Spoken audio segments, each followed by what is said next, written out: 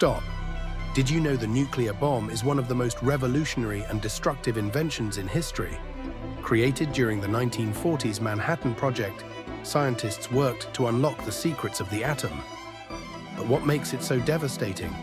Stay to the end to find out. The bomb's power comes from nuclear fission, where atoms of uranium or plutonium split, triggering a chain reaction.